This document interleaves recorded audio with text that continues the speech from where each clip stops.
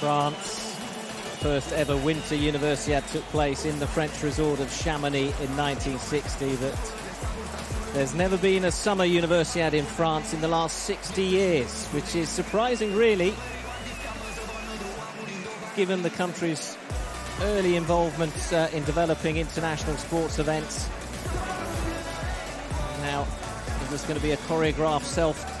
I don't think she's going to move them on.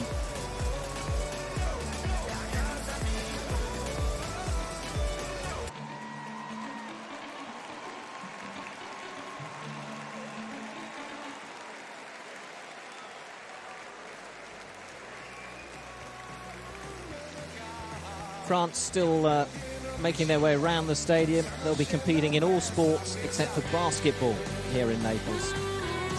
One man, one woman will compete in athletics.